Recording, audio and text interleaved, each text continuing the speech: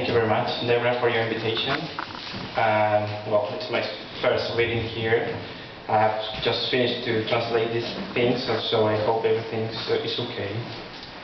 Um, and it's a wonderful place, so I, I'm very happy to be here tonight, sharing my work.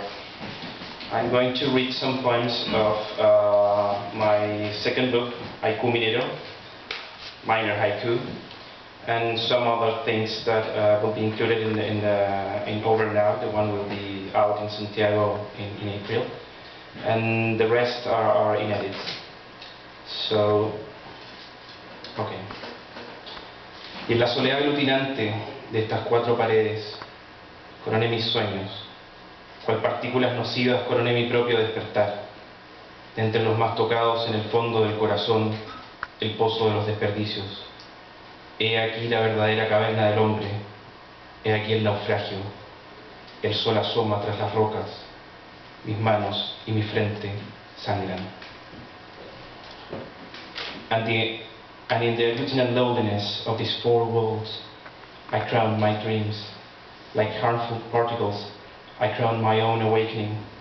Between the most touch in the bottom of the heart, the cesspit. Here it is, the man's true cavern. Here it is, the shipwreck. The sun leans out behind the rocks. My hands and my forehead bleed.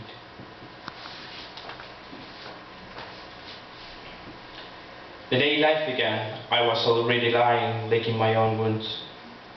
Inside, deep down the mirrors, the martyred girls make up deep dark rings under their eyes, like bits of inexistent fables, and they tell to each other that time for kisses is late.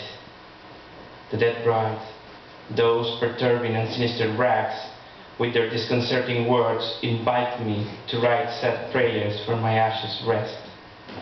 I hold them and kiss them in the swamps. I remove their mud, rip their dresses gently, wring the passion of their erect nipples. I no longer believe in death after death. A beautiful and virgin young girl, locked in a monastery, writes letter of a ruined love to the man for whom she is not destined to.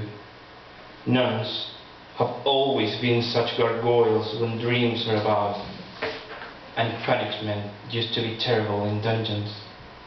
Tears are easy to catch by paper. I don't want my bones away from my body. The stories I read in moonless nights talk me of glows in dead lips, and the words that scorched my chest before rot now as ghost worms between memory's ashes. I don't believe in lies anymore.